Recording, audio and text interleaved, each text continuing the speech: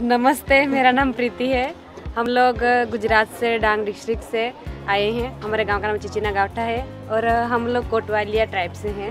और हम लोग पहले बास्केट वगैरह बनाते थे। अभी हम लोग को जो एकलव्य फाउंडेशन है उससे हमें ट्रेनिंग मिली और उसके बाद हमने ये सब सामान बनाना सीखा है बाम्बू से। जे, जैसे कि ये ट्रेज है पोस्टर्स है त्रिवेट्स है और ये